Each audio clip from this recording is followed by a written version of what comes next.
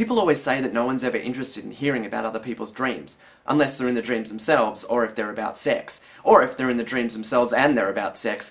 But my dreams are more than just thoughts and images. They're real, they're vivid and tangible, and they constantly manifest themselves in ways that interfere with my life and reality, which is why I think I find it so hard to adjust to change, because nothing in my life is ever really constant to begin with, which is why she told me to start keeping a journal of all the dreams I've been having.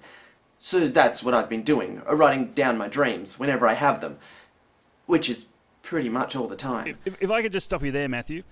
The question was, why do you think you'd be right for this position? I'll show myself out. Uh, uh, uh,